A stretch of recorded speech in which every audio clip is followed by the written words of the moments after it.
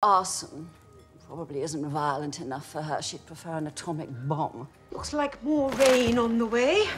I shouldn't be surprised. It is the west coast of Scotland. I would say keep your eyes open for a diminutive 60 year old prune.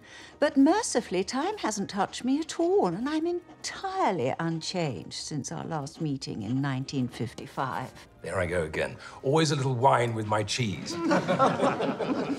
You're not drinking rum like some pirate. Meanwhile, I was losing my senses on early morning rides with Papa's dashing equerry.